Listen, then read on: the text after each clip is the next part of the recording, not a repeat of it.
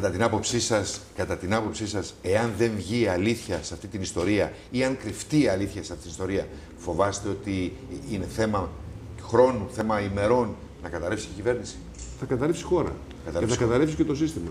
Διότι αυτή, ε, έτσι και έτσι ακούστε κάτι. Αυτή η κυβέρνηση όσο συνεχίζει να προσπαθεί να περάσει αυτά τα, τα μέτρα του Διεθνούς Νομισματικού Ταμείου και όσο προσπαθεί ή νομίσει ότι θα καθυποτάξει τον ελληνικό λαό, θα καταργήσει εργασιακά δικαιώματα, όχι με την έννοια του ότι δεν πρέπει κάποια από αυτά τα οποία έχει δώσει η μεταπολίτευση να πάρθουν πίσω. Δηλαδή, μαϊμού συντάξει αναπηρικέ. Oh, τρομακτικό. Μα, 7 και 8 συντάξει άνθρωποι. Μα, μα, μαϊμού μισθοί, οι οποίοι υπερβαίνουν το μισθό του Προέδρου του Αριού Πάγου. Αλλά δεν μπορεί να πληρώσει ο συνταξιούχος των 700 ευρώ την κρίση. Δεν μπορεί να κόβεται η σύνταξη από τη χείρα και το ορφανό του πιλότου της πολεμικής αεροπορίας που έπεσε για την πατρίδα του.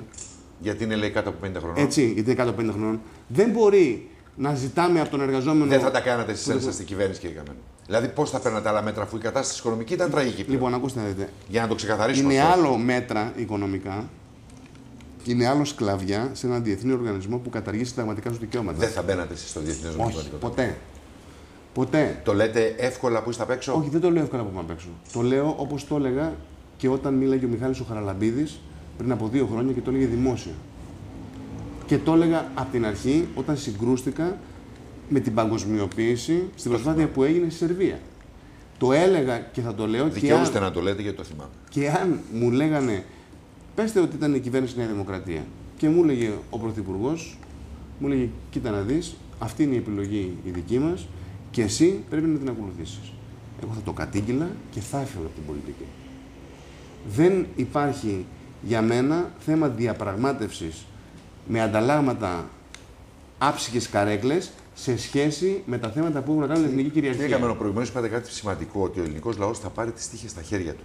Όταν αυτός ο ελληνικός λαός, και μια και μου μιλάτε στι ομάδα, σας μιλήσω και εγώ με την ίδια γλώσσα, σε ένα μεγάλο ποσοστό είναι διεφθαρμένος. Οι δημόσιοι υπάλληλοι, το μεγαλύτερο ποσοστό τους είναι διεφθαρμένοι.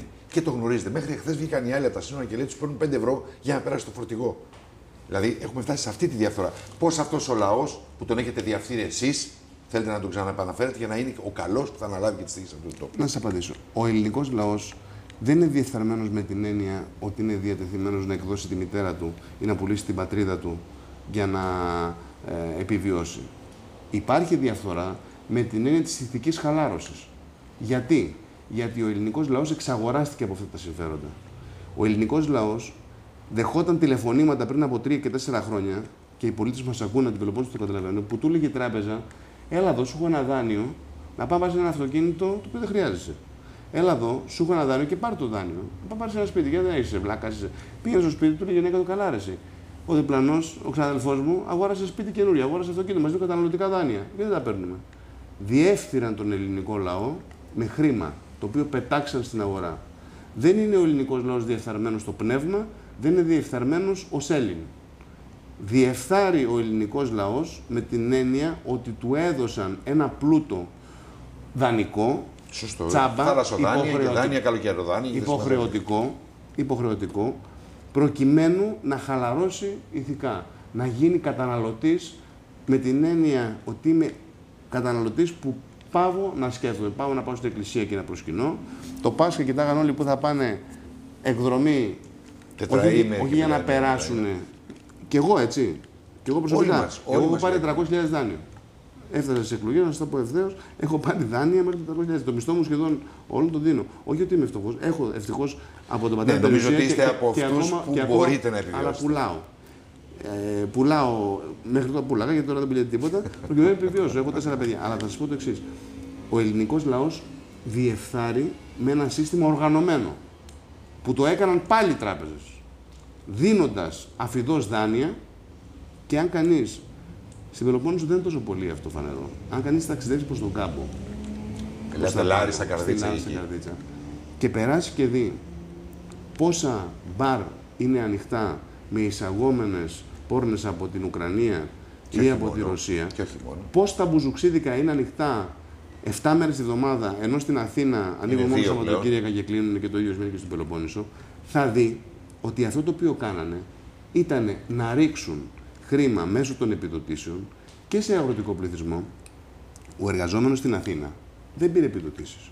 Ο εινοπαραγωγό στην ΕΜΕΑ Δεν έχει πάρει. δεν Τι έχει- πήρε. Όχι. Ο οποίος δουλεύει. Και αυτές που πήρε και είναι αποδίδει. αυτέ που δεν, Ή απο- δεν αυτές μπορεί να που αποδώσει. πήρε, Δεν φτάνουν. ουσ- ουσιαστικά, όχι, βρήκανε, ε, βρήκανε μια γωνιά. Εδώ όμως πήγε ο άλλος που είχε τα χωράφια του και καλλιεργούσε και είχε πρωτογενή παραγωγή στον κάμπο στη Λάρισα και του λέει γιατί να πας και να βάλεις καλαμπόκι, γιατί να βάλεις στάρι; Βάλε ρε μπαμπάκι. Το οποίο θα κάθεσαι στο καφενείο, θα παίζεις μπαρμπούτε το μέχρι το βράδυ, θα πίνεις και δύο τσίπουρα και θα εισπράττεις και το βράδυ θα πάει τα χαλάς και στο μπαράκι, θα πας και στο σκυλάδικο. Έτσι διεύθυναν και Βλέπετε Την- να την γυρίζει αγροτική πίσω παραγωγή. η κατάσταση, κύριε Κανονή. Τα μέτρα που παίρνονται δεν είναι αναπτυξιακά, είναι δεδομένο. τα, δεν το μέτρα- τα συζητάμε. μέτρα αυτά δεν είναι θα- φοροεισπρακτικά. δεν θα τα Όχι, τα μέτρα αυτά δεν είναι φορολογικά. Τα μέτρα θα είναι προκειμένου να μαζέψουν το χρήμα από τον λαό, να τον ατιμάσουν τον Έλληνα όσο μπορούν, να του κάψουν κι άλλο το ηθικό και να σηκωθούν να φύγουν. Ναι, τι κάνουμε Λοιπόν, εμείς; Αυτό λοιπόν το οποίο Τι κάνουμε κάνει αυτός ο λαός; είναι να αντιστεκόμαστε σε αυτού του είδους τα μέτρα.